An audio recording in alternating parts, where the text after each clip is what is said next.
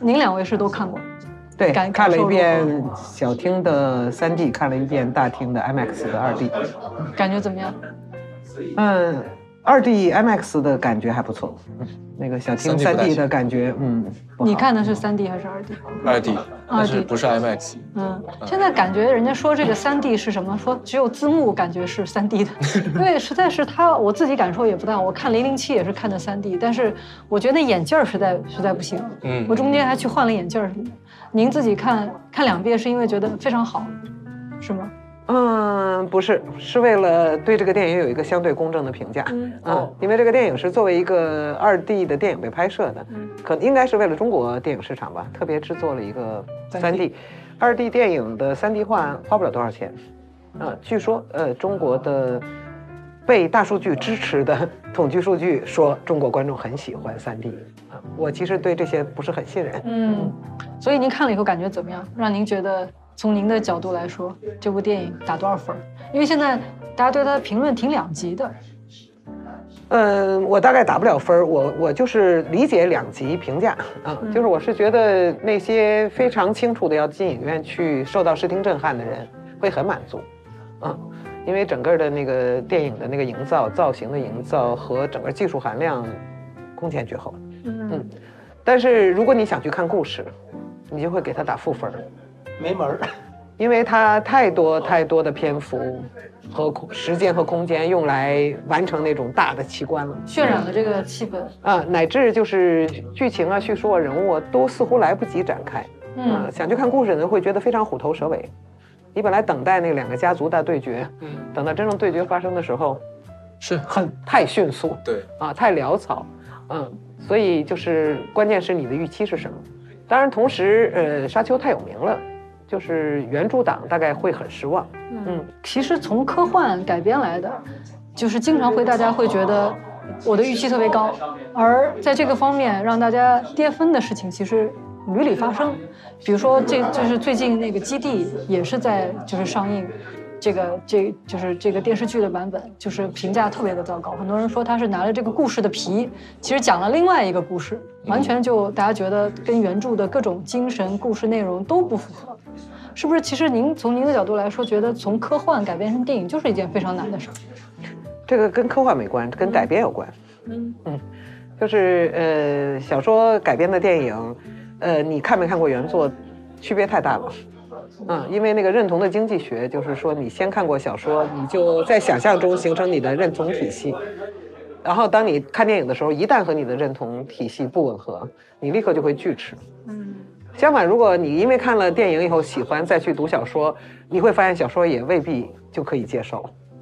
这是这是一个原因，这是一个原因。另外一个原因就是，永远是写写的越好的文学作品越难产生好的电影。原因原因在哪里？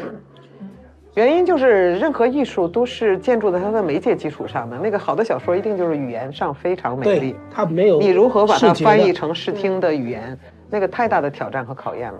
它的属性就是说，您觉得它的魅力就在于它在你就是从文学角度来说，它在你阅读的时候，在头脑当中的想象构建的一个东西，而一旦是有电影了，它其实是是着相，就给你一个特别具象的这个东西。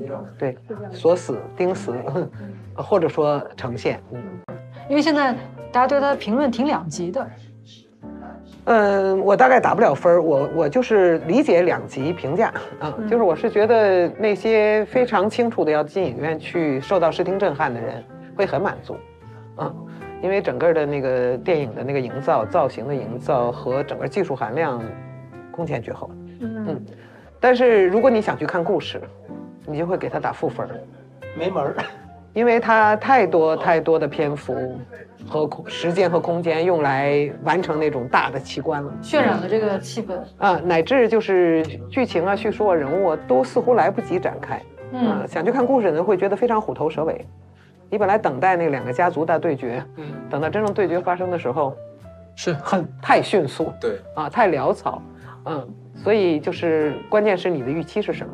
当然，同时，呃，沙丘太有名了，就是原著党大概会很失望。嗯，其实从科幻改编来的，就是经常会大家会觉得我的预期特别高，而在这个方面让大家跌分的事情，其实屡屡发生。比如说，这就是最近那个《基地》也是在就是上映，这个这就是这个电视剧的版本，就是评价特别的糟糕。很多人说他是拿了这个故事的皮，其实讲了另外一个故事，完全就大家觉得跟原著的各种精神、故事内容都不符合。是不是？其实您从您的角度来说，觉得从科幻改编成电影就是一件非常难的事儿。这个跟科幻没关，跟改编有关。嗯嗯，就是呃，小说改编的电影，呃，你看没看过原作，区别太大了。嗯，因为那个认同的经济学，就是说你先看过小说，你就在想象中形成你的认同体系，然后当你看电影的时候，一旦和你的认同体系不吻合，你立刻就会拒斥。嗯。相反，如果你因为看了电影以后喜欢再去读小说，你会发现小说也未必就可以接受。这是这是一个原因，这是一个原因。另外一个原因就是，永远是写的越好的文学作品越难产生好的电影。原因原因在哪里？原因就是任何艺术都是建筑在它的媒介基础上的。那个好的小说一定就是语言上非常美丽，它没有你如何把它翻译成视听的语言，那个太大的挑战和考验了。它的属性就是说，您觉得它的魅力就在于它在你，就是从文学角度来说，它在你阅读的时候，在头脑当中的想象构建的一个东西，而一旦是有电影了，它其实是是着相，就给你一个特别具象的这个东西。对，锁死、钉死，或者说呈现。嗯。然后，然后我自己的感受还有一个就是科幻，它可能非常难改编的原因是。它，你像基地也好像沙丘也好，它是一个非常庞大的思想体系，嗯，就是它有一套非常完整的逻辑，就是大历史、大的一些思想在背后支撑，而不是一块屏幕上，因为你看屏幕可能更多的是看那个故事，就一个故事，我不知道可不可以这样来解释，就是说。你想看见的东西和那个想引起你思考的这么一个浩瀚的东西来说，其实特别难做到完全的匹配。这个二十世纪六十年代就已经回答了这个问题了。大家以为电影是表现的艺术，二十世纪六十年代以后，电影已经证明了它可以处理任何主题。而科幻作为二十世纪开始流行的一种通俗写作样式，通常来说它没有那么玄秘。嗯，没有那么巨大，它只不过是说相对有一个世界构架。对，啊，现在会叫元宇宙，它不过有一整套的一个一个关于它的那个设定。看科幻的时候，其实有一个前提，就是一开始你必须先假定你接受它所有的预设，不去质询它。嗯，因为科幻就是它会把那个基本的打破基本的物理逻辑，打破基本的身体经验来做它的设定。如果你开始怀疑它的设定，就算了。那几乎没有办法进入，那就变成哲学了。嗯，怎么怀疑它的前提预设？嗯，还没到哲学那种高度，这只只是一种阅呃观影或者阅读体验而已。嗯就您怎么说？怎么叫怀疑它的这个前提设定呢？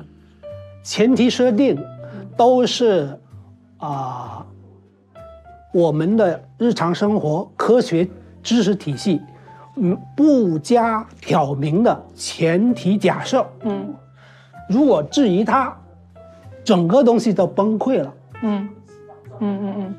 所以您认为不会？二十世纪我们一直在质疑这些前提预设，我们还没有崩溃。质疑现代世界的很多基本预设呀。